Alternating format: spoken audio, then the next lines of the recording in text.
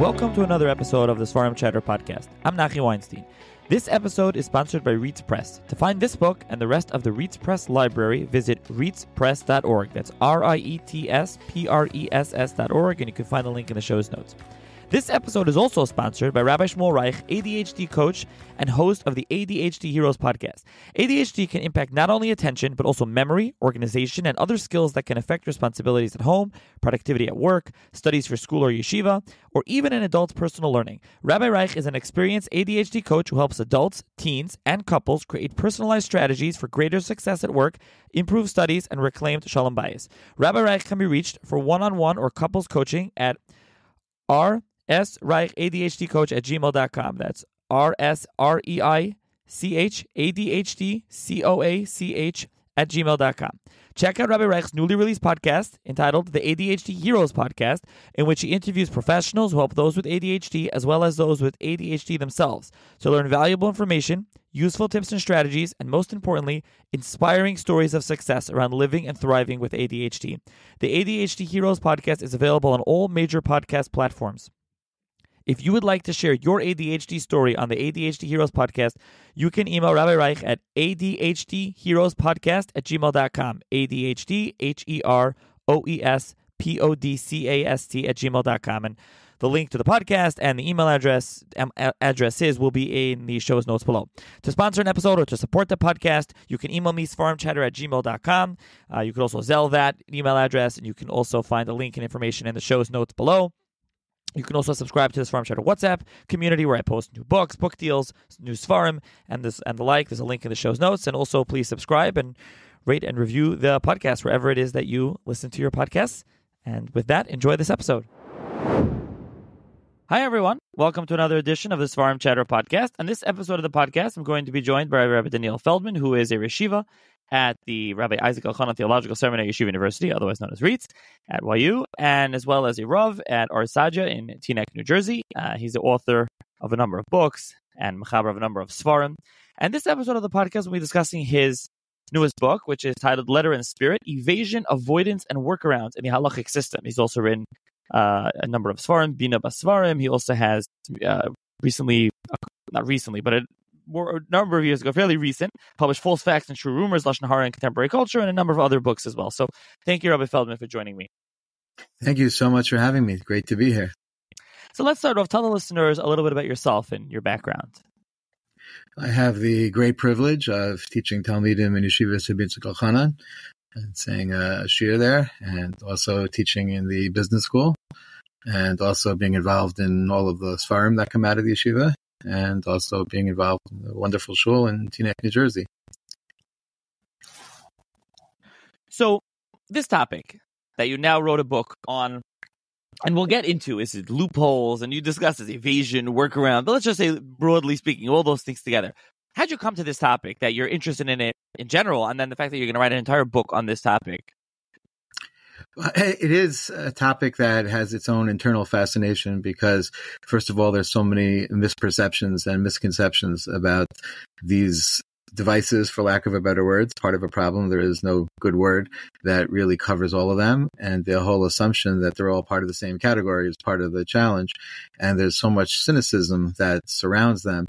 And that's particularly corrosive. And I found that I was always trying to explain why this is different than that and what's really behind this and what's the history of this. And especially anything that has had the endorsement of at least some Gedolei Yisrael and at least some portion of Klal Yisrael should be treated with some respect and understanding and to be able to appreciate how it's all part of a system that Klal Yisrael benefits from and is a part of a sincere Avodah Hashem, something that I thought really needed to be addressed in some type of a comprehensive manner. And you discuss all the various topics, which we'll get into. Uh, you had the Rizka, Mechiras Chametz, Pruzbul, Heter Mechira, many other ones. So we'll talk about that. But I think even before we discuss the definition, I'll work a little backwards almost. What do we even mean when we say, let's call it whatever, whatever you want to call it, and we'll get to that. Avoidance, a loophole, a workaround. How is it an evasion? How is it an avoid, avoid evading halacha? If it's legally permissible, if it conforms to halacha, if it's mutter, then it's not an evasion. It's just mutter. Great question. So usually the perception is, and I probably should say at the outset that at best, because of the difficulty in definition, we're really addressing perception more than actuality. So that's the best we can hope for that we're first trying to talk to what is perceived about these topics rather than the actuality. And then hopefully by the end, we have a, a better sense and a better perspective of how they actually develop. But the perception usually is that assuming that we can agree that the halacha is being respected, which sometimes itself is a topic of controversy. Sometimes that's agreed upon, sometimes less so, and that itself has different components to it. But if we can agree that the halacha is being kept to and is being respected, so usually the biggest concern is that there is something about the spirit of the law or the intent of the Torah that is being evaded. And that, yes, okay, maybe there is a legalism here that's being adhered to, but the actual Ratzon Hashem is not being complied with. And when that is the feeling, if there's any truth to that, so certainly that is something that we should feel bad about. But the question is, is that really an accurate perception? And when is that an accurate perception? So let's talk about definition. Um, you know, and the, the, title, the subtitle, used evasion, avoidance, and workaround. I mean, there's also the word loophole is a word that comes to mind. You don't yeah. like these terms. You talk about the issue with the various terms, even though you're talking, you, you, as you say, it's really this whole thing is a, is a matter of perception. But what what are the issues that you have with these particular terms? And then so broadly speaking, what terms should we use, even if it's a matter of perception? Right. So loophole, the problem is it sounds like there's a mistake, there's an omission in the system. When especially talking about the divine Torah feels very uncomfortable at best to say that there's something that the Torah just didn't notice.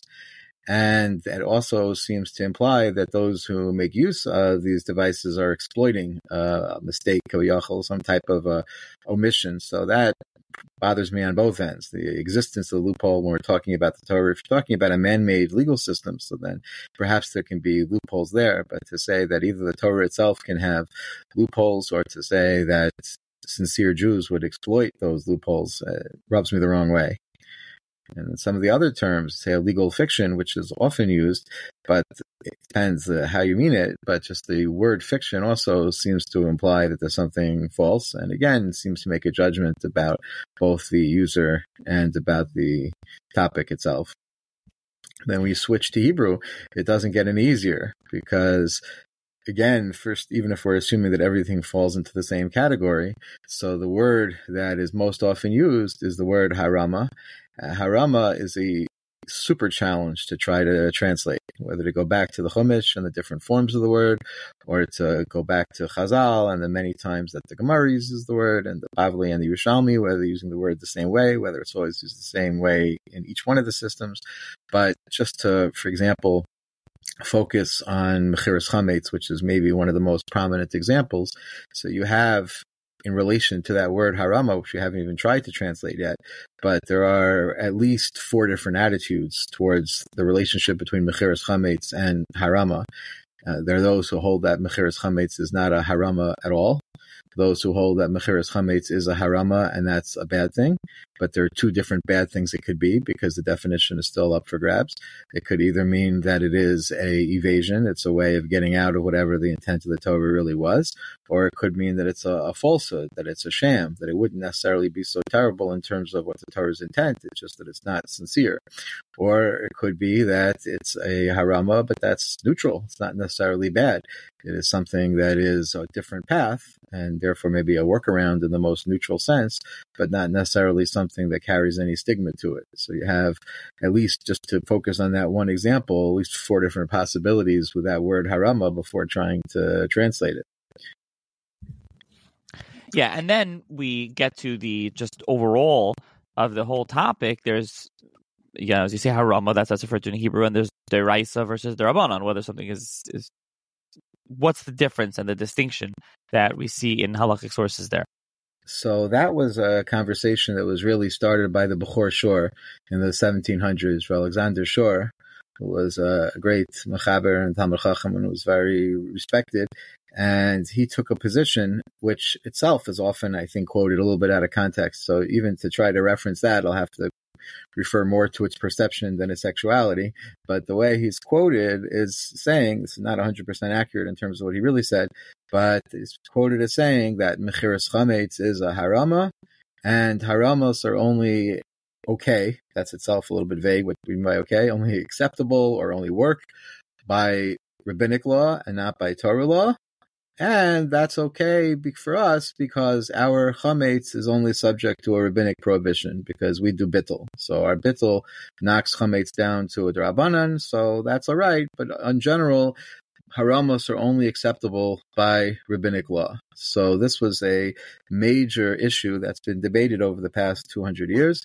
Was the Bechor Shor right on any of those points? There are some who accept him on all three of those points, some who reject him on all three of those points, and many who accept some kind of a mix and match of those positions, whether or not they are aware that he said this, but or said part of it. But the essence of it has been accepted to partial degrees to complete degrees, depending on how it plays out. So the idea that there's some kind of limitation to dinam derabanan has been extensively debated, whether that's true or not.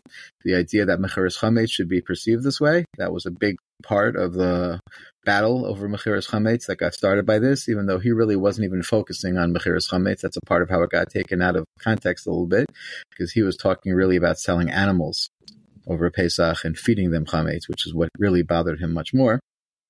And it could be that he was okay with mechiras chametz, as others point out, but it kind of morphed into being an objection to mechiras chametz overall.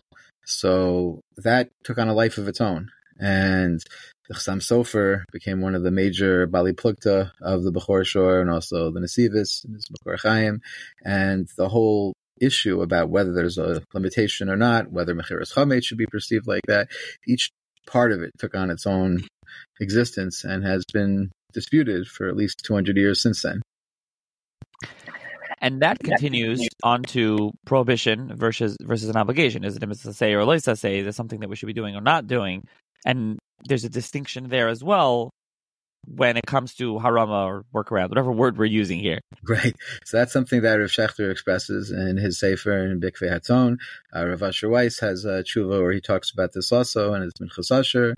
And it's based on the idea, similar to a point that the Maharal makes in his Gur Aryeh when he talks about the Avos, that the notion that the Avos did the mitzvos on their own accord before it was commanded, that they did specifically positive mitzvos, not necessarily abstaining from los. And the assumption being that positive mitzvos have some inherent value, so even if you're not commanded to do them, it's still worth taking them on. While los if they're not relevant to you, then they're not relevant. So if you could work things out, out so that a losa say doesn't apply to you, so then all right, doesn't matter. So then you're off the hook. But if you have a mitzvah saseh, even if you could technically exempt yourself from it, it means you're missing out on some opportunity to fulfill a Ratzon Hashem. So then there's something that you're missing out. And theoretically, both of these points, this point about distinguishing between deraisas and drabanans mentioned before, even though it's not the way the Bechor Shor expressed it at all, and the second point about distinguishing between assays and los assays could both be connected to the larger issue of the spirit of the law that you asked about before. That the assumption seems to be that if we're evading the intent of the Torah, then there's more to be concerned about. So that getting out of a mitzvah saseh, even if you're technically exempt, you're avoiding the Ratzon Hashem by doing that. And that maybe also, even though again it's not the how the Shor said it, but to give it a life of its own, that if we're more worried about dinim daraisa than we are about dinim darabanan, that maybe because dinim daraisa reflect the Ratzon Hashem, and that dinim darabanan, if you take the position attributed to the Nesibist and others, that it's more about a safeguard and more about compliance with the law. So it could be that dinim darabanan don't really have a spirit of the law beyond their compliance, and therefore maybe there again that distinction is expressing itself. And this really, and this really is brings us to evasion versus avoidance, as discussed in the taxes model. This is something that I think the analogy, the most the one that comes to mind is really the IRS and taxes and paying taxes and finding loopholes or workarounds in the tax code in the ta- in, in the uh, paying taxes. And you quote in the book uh, former uh, judge of the U.S. Court of Appeals, the Second Circuit, Judge Learned Hand, and being being a lawyer, this is he's someone in law school that comes up a lot. His uh, quotes, and he wrote that any anyone may may so arrange his affairs that his taxes shall be as low as possible. he is not bound to choose that, that pattern which will best pay the treasury. There is not even a patriotic duty to increase one's taxes. And he also wrote later on, over and over again, courts have said that there is nothing sinister in so arranging affairs as to keep taxes as low as possible. Everyone does it, rich and poor, do and all do right, for nobody owes any public duty to pay more than the law demands. So when we come to halacha, do we take that same position that there's no re- there's no issue. This is mutter. You know, again, this gets back to what we were saying before. Is that our almost work around whatever? But is it? But there's no reason not. There's no reason why we can't do this, whatever that is, heter iska or whatever the thing is, or no, not necessarily the case, depending on perhaps depending on depending on the situation that we're referring to.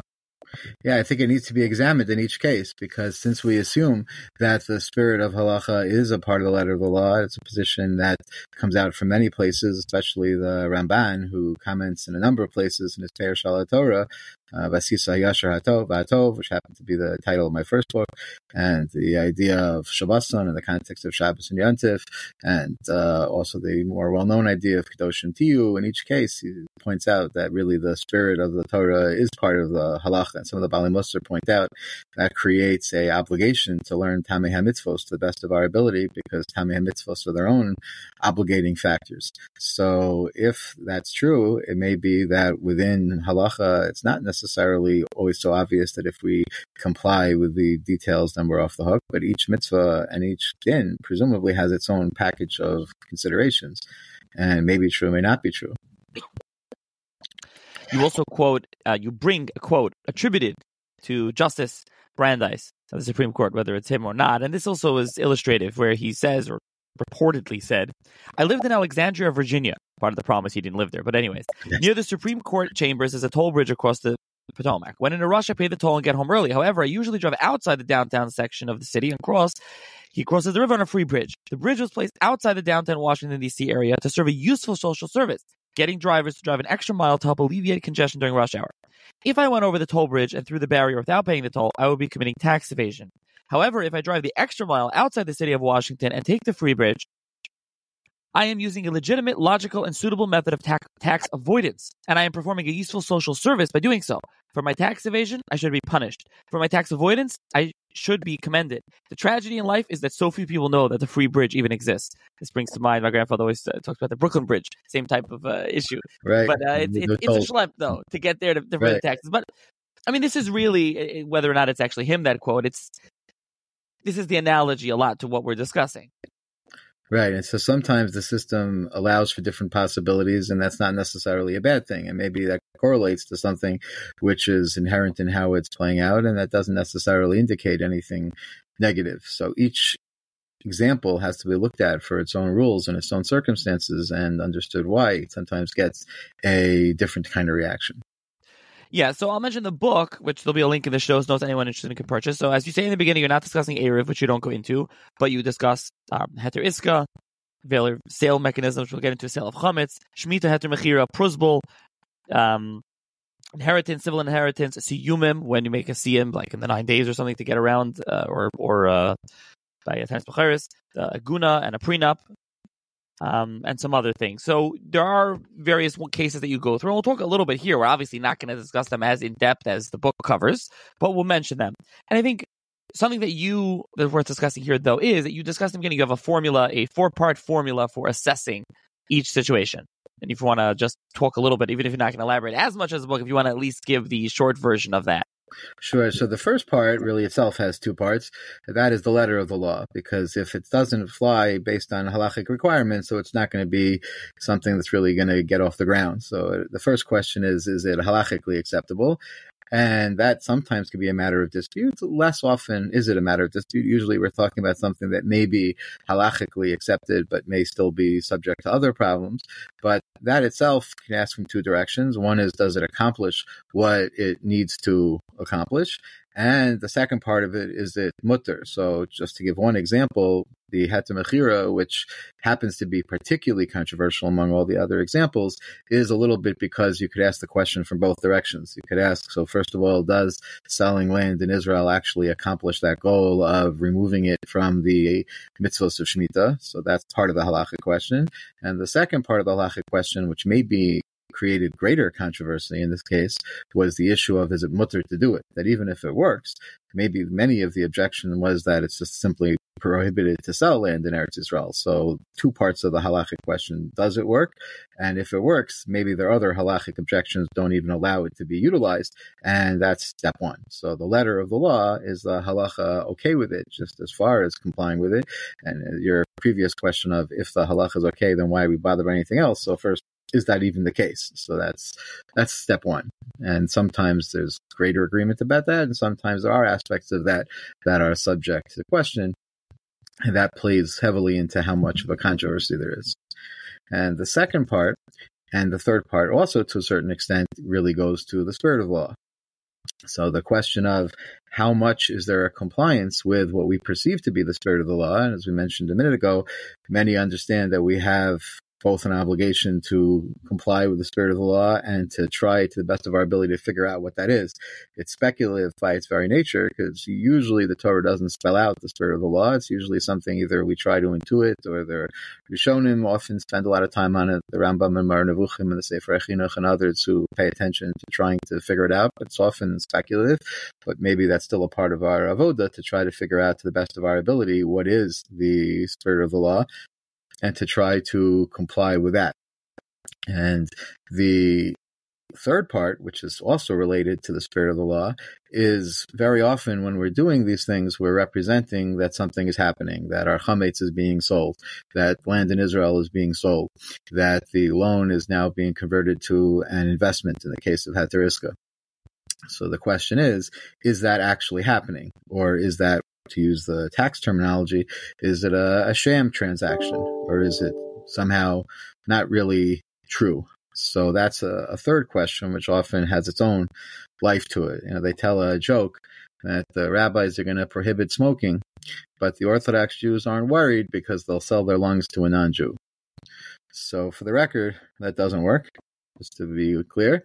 But the question of why it doesn't work so that has problems both in terms of the second question and the third question, because in terms of the second question, so it just doesn't help the spirit of the law.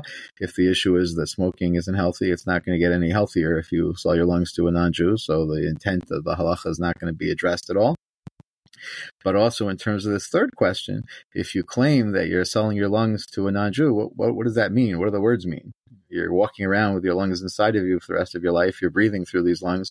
So, in what sense is that true? So, that's also often a question that you claim to be selling something, to be transferring something, to be converting to a investment rather than a loan. So, is that really happening, or is that a sham? And that often becomes a big part of the issue, also.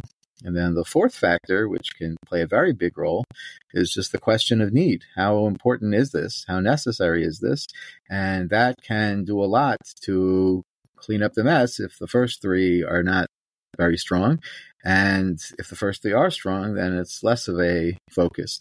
So all of these four parts play a role together and are assessed together and can predict in terms of the reaction we're going to get, whether something is going to be well received or rejected or controversial or somewhere in the middle or depend very much on the details. It has to do a lot with how all these four parts come together. So usually the first three are hard to get a perfect score on. So there's going to be some element of need. And the question is, how great is the need? And need could be many different types of need. It could be halachic need, such as selling uh, the mother of a bechor, the animal of a bechor, that's not going to have any good halachic approach nowadays. So we have to find some way to deal with it. So that's a halachic need, or sometimes it's an economic need or a spiritual need or some other kind of need.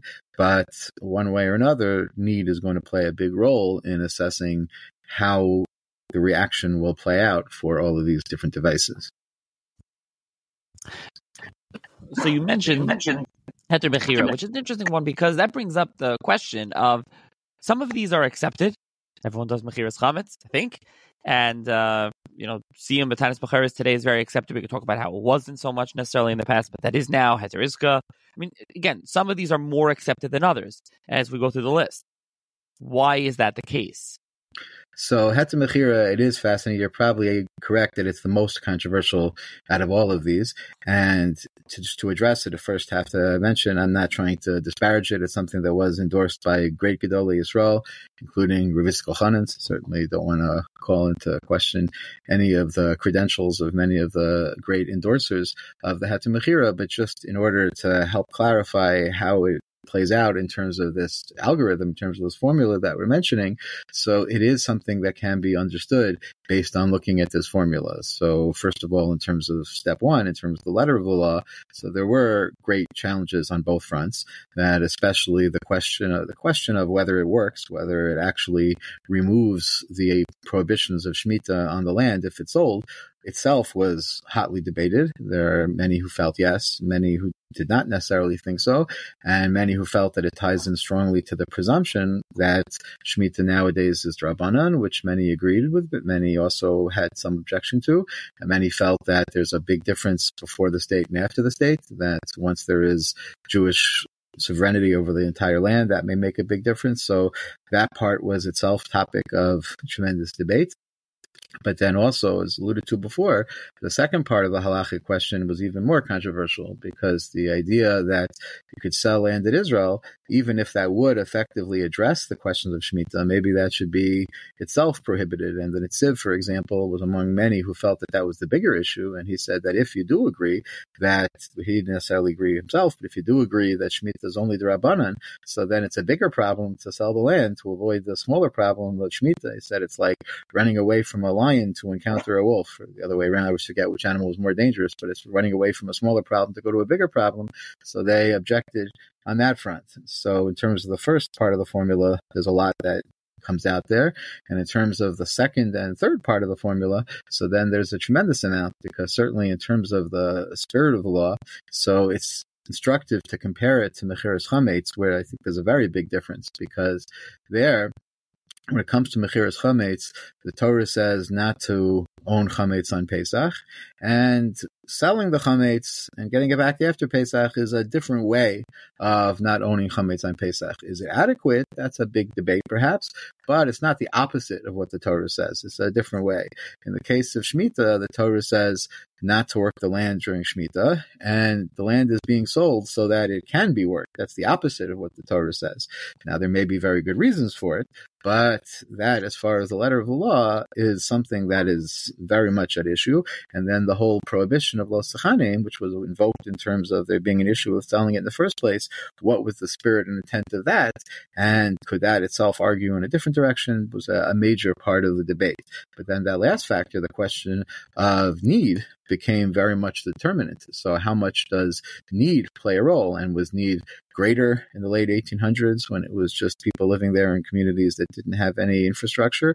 Or is need greater now because there is a whole country that does depend on it? Or is need less now because there is a startup nation that has its own its own systems to it. So the argument goes in both directions, kind of like a perpetual motion machine for machlokas, because every seven years it gets renewed with a whole new vigor and a whole new force. And each side of the machlokas says, okay, seven years ago you didn't agree with me, but now for sure you agree with me because all the factors that changed all make me more right than I was then. And each side says that. So the argument gets more and more intense each time.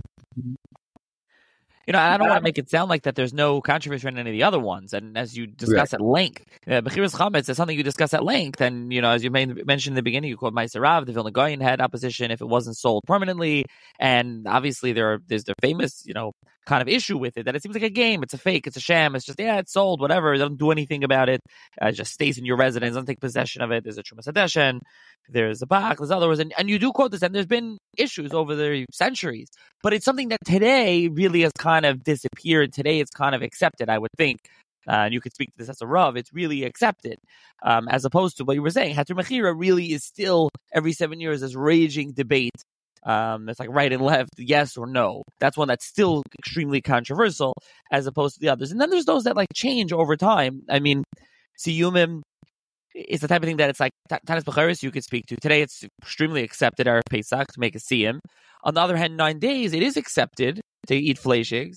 But on the other hand, and maybe this is just a spirit thing where you're supposed to be mourning the base of Mikdash and everyone's just trying to eat a big steak and you're trying to see how you can eat steak. And it's something that like you know, do you eat that kind of meat like every night of the week during the year? Like now, suddenly in the nine days, it's like, oh my goodness, I need to eat fleischigs. Is that why you know you always hear the the, the Rosh Yeshiva, the Rebbe, the Mashgiach, the Rav? Oh, know, don't have a siyum, don't have a siyum. Is that really in opposition to it, or is that more like what are you doing? What are you trying to accomplish here during the nine days?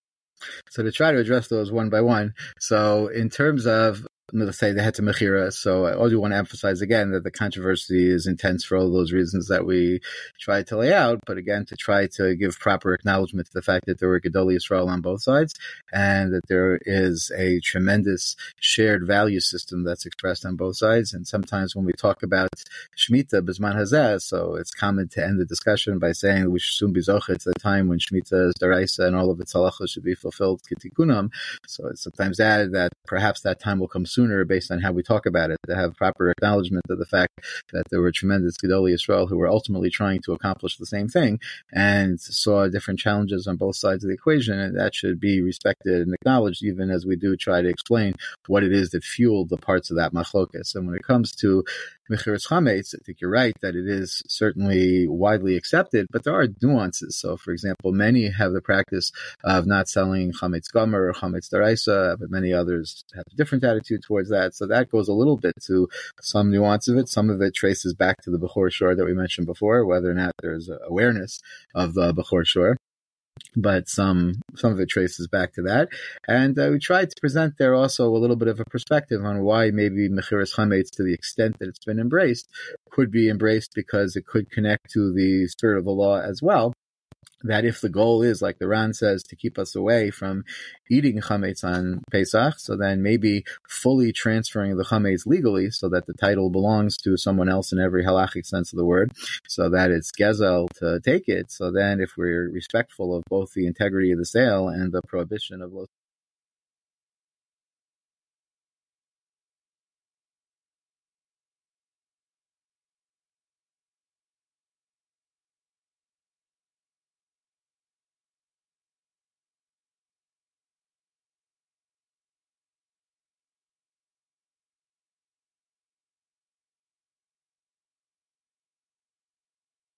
fact that there is a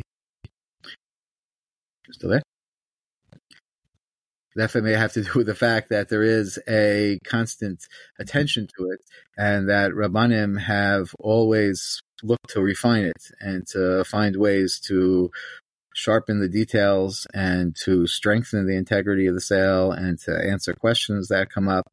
And it is a constantly evolving process. Even ad yom hazeh, there are new suggestions that are being made to reinforce the integrity of the sale and to make sure that it's even more genuine and to create different types of tikkunim to the process. And that also, I think, plays a role.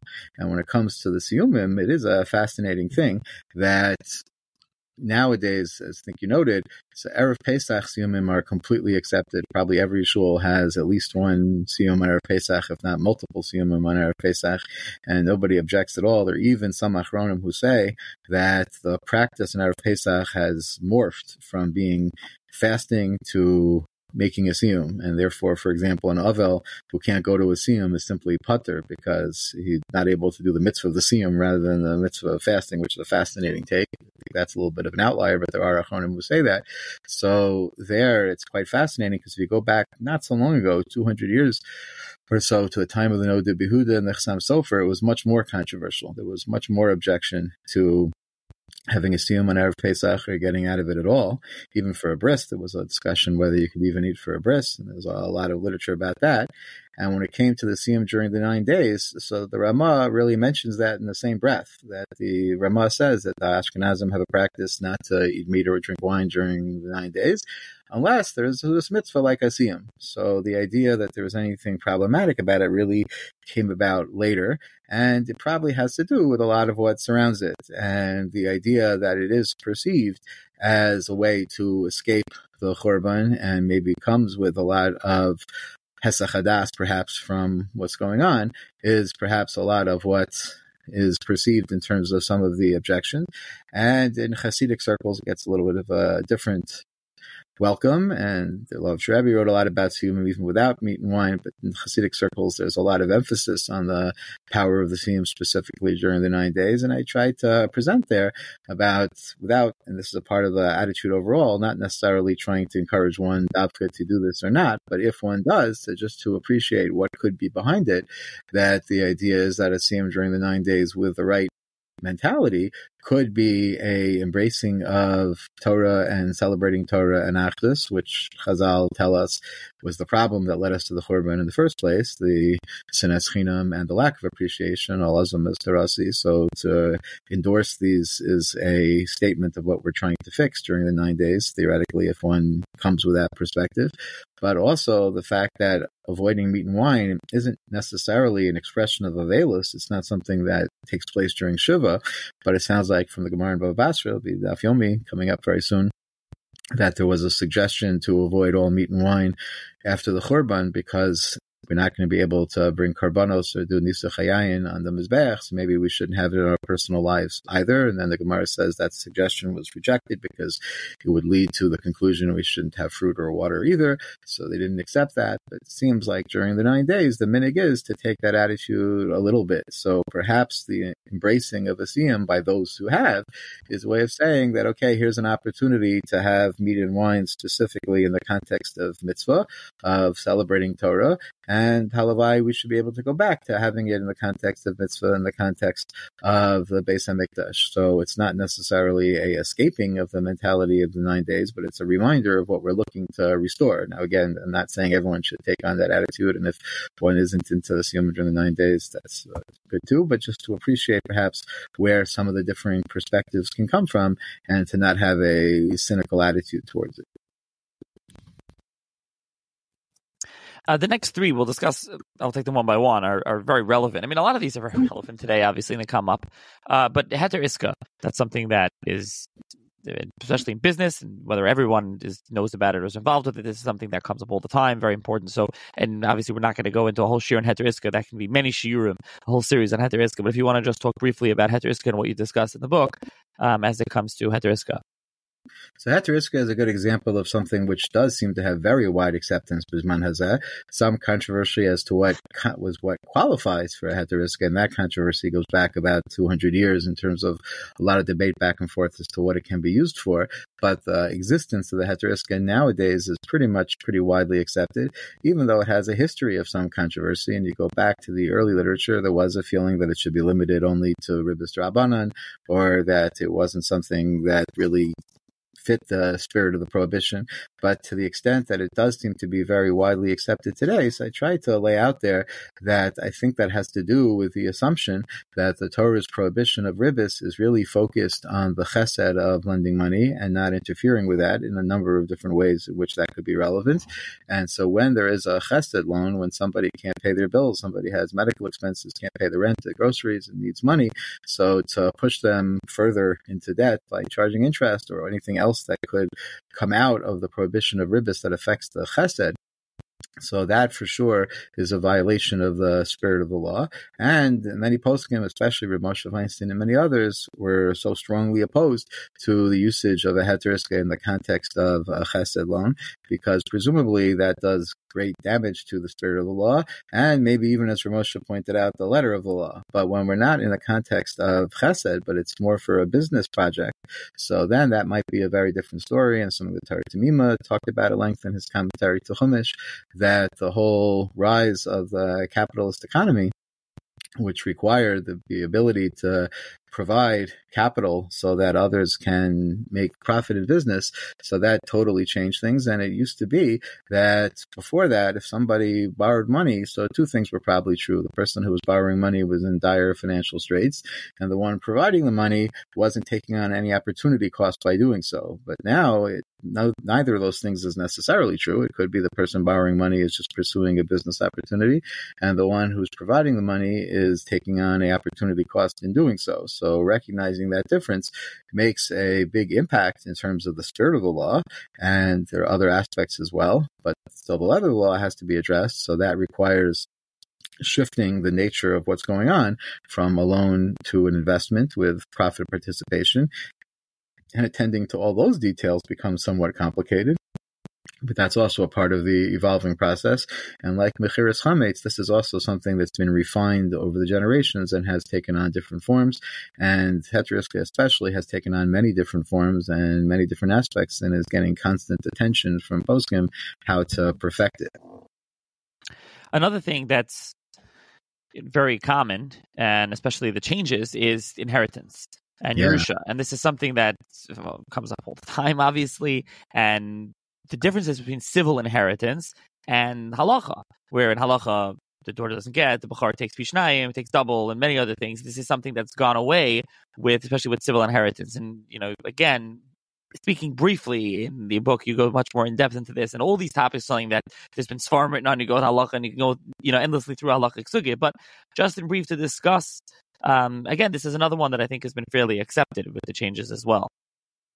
Yeah, Rav Dichovsky, uh, Dayan Eretz writes that he's dealt with hundreds or thousands of these cases, and no one's ever objected to a halachic will, and this is used in all segments of observant Judaism. And it really is a fascinating example of where there's been, at least according to testimonies such as that, a, a very broad acceptance of a different approach, which seems to be on the surface completely at odds from what the Torah commands as far as inheritance is concerned.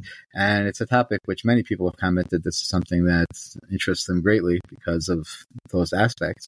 And it seems to be that there are, first of all, careful attentions to the letter of the law in terms of the whole history of the Shtar Chatzi Zachar, which is discussed there, and a few other techniques that are brought into play in terms of addressing it, but also elements of the spirit of not just this law, but also the broader intentions of the Torah, where Chazal had emphasized the problem of differentiating between children and shalom bayis issues, and especially if you try to connect it to the intent of this law, but it's an interesting example because here it's more about concerns of the intent of the Torah as a whole rather than intent of this mitzvah specifically. But there are ways to also find it within the intent of this mitzvah that some of the Rishonim explain that part of the intent of Yerusha is a chesed of the Torah that the Torah preserves what a person has worked for throughout his life and allows him to pass it on to his descendants and keep it within the family. But if doing so is going to create a bigger problem to his legacy by breaking his family apart and causing dissent, so then that goes against the goal even of Yerusha to a greater extent. And perhaps that's why there's been a greater receptivity to that which has allowed for distribution of assets that is going to do more to preserve the harmony and perhaps also the intent of the original owner of the assets, which may also be a big part of the intent of the mitzvah, which also finds much evidence in halachic sources. Let's discuss another one which is very relevant and really is a hot button topic and one that's often under the microscope, which is aguna, contemporary aguna, get refusal to something goes, you know, today. Uh, and as you know, because of social media, especially in other things, this has become a real hot button topic, as well as prenup, halachic prenup agreement. And this is prenup, I think, to my knowledge, and I, I could be wrong, I think there's something more in the modern Orthodox world, in Yeshivish world, that's really been accepted um, as a as a you know, workaround, if you will. Again, whatever word we're using. Uh, and so, if you want to talk about this a little yeah, absolutely. It's an incredibly important topic for a number of reasons. So, first of all, a big part of what I wanted to illustrate in the book is this is a question that everyone's always asking because the urgency and the anguish is so apparent and so great. So, sometimes this is a part of what creates a cynicism that, okay, the rabbis can handle chametz and can handle loans not being canceled to the end of Shemitah and can find ways to take interest and can find ways to handle all these other problems. But the suffering of the aguna, they can't do anything about it. They say they don't care enough about how how come, what's going on there. So a big part of what I wanted to display was so all the previous chapters. It's intentionally one of the last chapters, so you should hopefully see through all the previous chapters just what the challenges are, just how the system is complicated and why it's complicated and why there are these obstacles and why it's very different than everything else that has played out beforehand and some of the efforts that have been put towards this. But also in terms of the halachic prenup, which uh, perhaps I have a bias because my rebbeim have been involved in creating and advocating the prenup, uh, especially Rabbi Mordechai Willig Shlita was one of the co-authors of the prenup, together with Rabbi Zalman Goldberg Levracha, and uh, Schachter Shlita has been a big advocate of the prenup. So a, a talmid of those who have created and advocated this prenup. So certainly have a strong natia towards it, and I'm associated with organizations that have advocated and promoted this usage. But it's I believe, is consistent with the principles that we try to convey in the book, but also perhaps even more so because the prenup, as it is laid out, doesn't in any way evade the intent of halacha, and if anything, it strengthens the tools of halacha.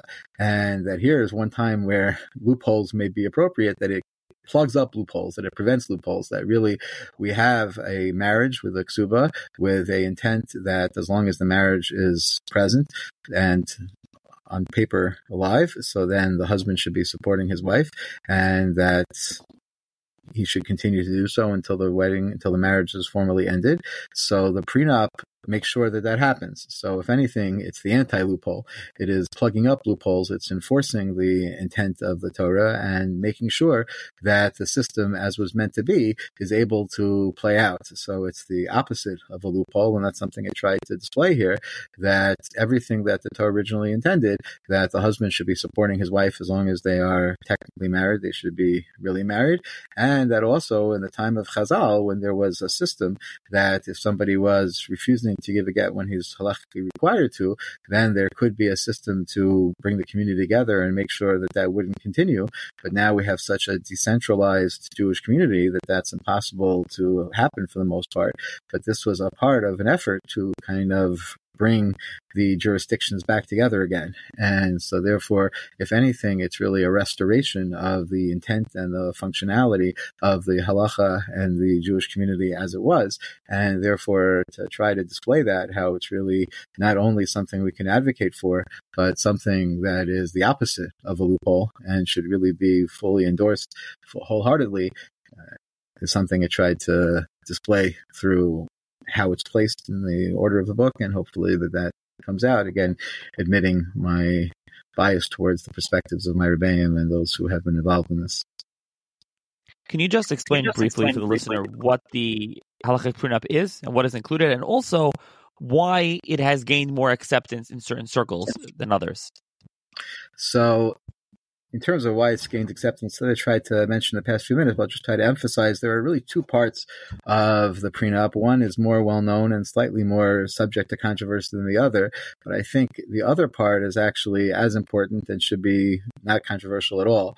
So what's more well known is the financial aspect that there is a obligation that the husband commits to to continue supporting his wife throughout the time that they're technically married and the understanding being that presumably he's not going to want to keep doing that forever if you're not living together, and that will help move things towards a speedy conclusion so that there shouldn't continue to be this financial obligation. There is theoretically also a bilateral prenup, which uh, bases itself on a different halachic mechanism, which would involve a penalty to or a obligation on the part of the wife. If she refuses to accept a get, involves a little bit more of a complicated halachic basis.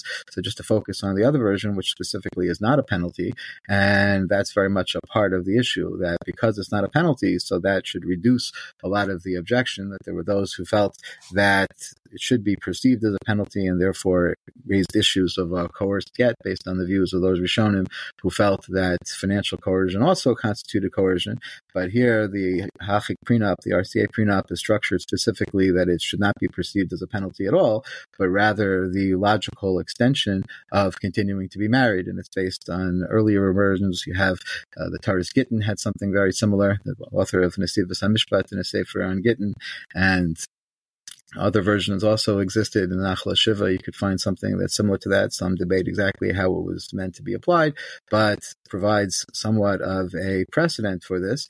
And that aspect, which has been subject to some controversy, I think can be addressed very well through those explanations and has been very effective in pushing things towards a speedier conclusion. The other aspect of it, which really shouldn't be controversial at all, is the agreement to arbitrate. And that brings all the parties together in the same venue, which in this context is the Beis Din of America, but could be any agreed upon venue. And that, in my experience, which has been unfortunately extensive in dealing with various cases, is the cause of almost all protracted get refusal situations. That very often they're venue disputes. Very often they are about fighting over where you're going to have the issue resolved because each side believes that this will be over tomorrow when the other side just comes to the one venue in the world that's going to deal with this fairly and realizes that I'm right and then it's going to be over. So if there's a commitment beforehand to choose what the venue is, that would do a tremendous amount to resolving this issue. And Rav Moshe Feinstein wrote that. Rav Moshe Feinstein has a tshuva in which he says that he has no objection to that, that if there would be an agreement in advance to go to a certain Beis Din to have it all settled. That would be very effective, and that would be something that he would think would be completely permissible. So th- essentially, the reason it's not being accepted again, the question is: is it ha- purely halachic reason? But for a lot of these things we've seen, sometimes it's halachic, and sometimes it's more an ideological reason behind the halachic because you can end up going both ways. Halachic. Is there an easy answer? Maybe there's no answer here. Yeah, I don't want to speak for others and put words in anybody else's mouth. I tried to address it a little bit in that chapter, and again, acknowledging where I'm coming from on the issue. Uh, there is some debate about the nature of the financial component, and I think there's a good answer to those questions. I think that that's well established what the basis is for it. And I think that it's something that even if one wanted to tweak, and there are many efforts, I think, out there to try to adapt it in ways that will fit the needs of various communities. And God willing, that should happen soon. This is something that really needs to be addressed with great urgency. And it's something that uh, rabbinic scholars have worked on for many centuries and have paid great attention to.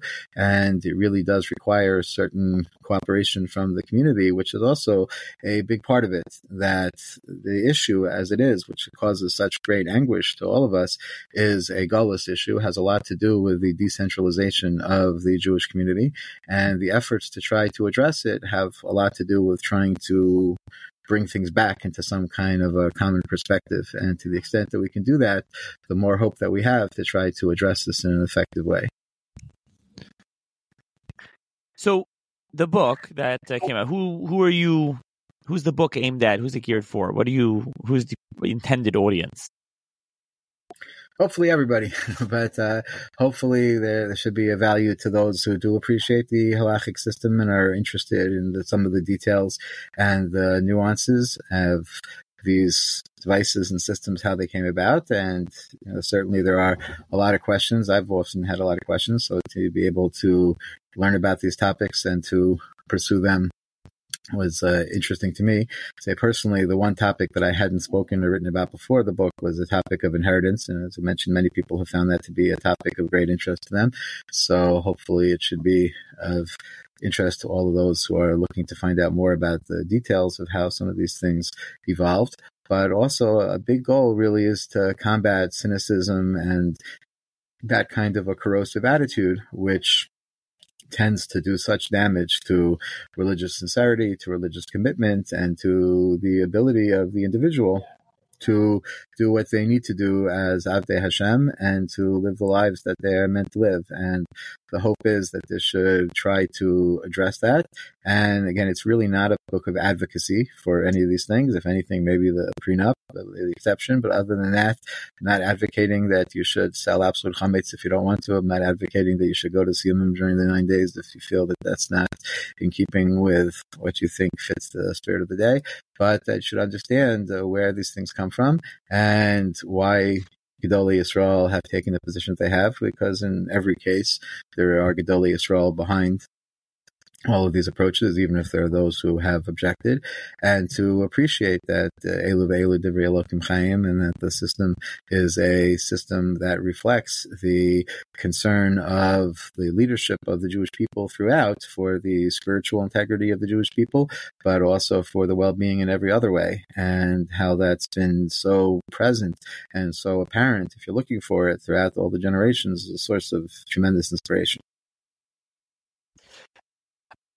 Now, what can you what what can someone practically take out of the book? Obviously, reading through halachic sugyas is something that you practically get, but is there a practical takeaway we should get from reading about haarama, evasion, workaround, loophole? Again, whatever word we're using or not using when it comes to this, is there something just glo- broadly, globally speaking, not particular one particular topic, just in general, the whole topic is something that we can all take away? Well, that last point I would certainly stress as a fundamental that one should not have cynicism and one should have respect for the system and for the rabbinic leadership and to appreciate how that plays out. And that does a lot for our own individual level uh, and for our own decisions. And that what we do, we should believe in and that we should make the choices of our behavior based on what maximizes our own avodas Hashem and reduces or eliminates our cynicism and that which detracts from it, and to recognize just how much has gone into it in order to make that possible, and to appreciate that, and to understand sometimes it's a bridge from one step to the other, as is often the case. In the case, for example, of it was overtly portrayed that way as a necessary bridge in order to get from one stage of the settlement of Eretz Yisrael to the next. But in every instance, there may be that possibility, but to recognize that within our own individual treks and our own individual journeys towards uh, perfecting our avodas Hashem, how we can understand all of the different aspects of it and respect what's gone into it and to internalize that as our own mission and our own perspective. Okay, so I'll link to the book in the show's notes. It was published by Maggid, which is the division of Koren, and the YU Press together. I don't know if I mentioned that in the beginning. Uh, I'll link to it. And you, uh, like I said, you have another book published by them also on Lashon Hara. You have a number of other Seforim. And so perhaps in the future we can uh, discuss Lashon Hara books, some others. Are you working on anything now? Always working. Um, uh, I'd like to try to come back to some of my original topics of mitzvahs but Adam. Uh, some of the books are out of print. I'd like to try to bring those back into print and uh, come back to some of those topics. Maybe focus a little bit on some Gittin topics and uh, related to some other things we spoke about, and uh, continue some of the other themes of the Hebrews Forum, Dinim Drabanan, things like that, and uh, we'll see what gets finished. Okay. Well, uh, thank you very much, Rabbi Feldman, for joining me, and I hope listeners enjoyed it. Thank you so much.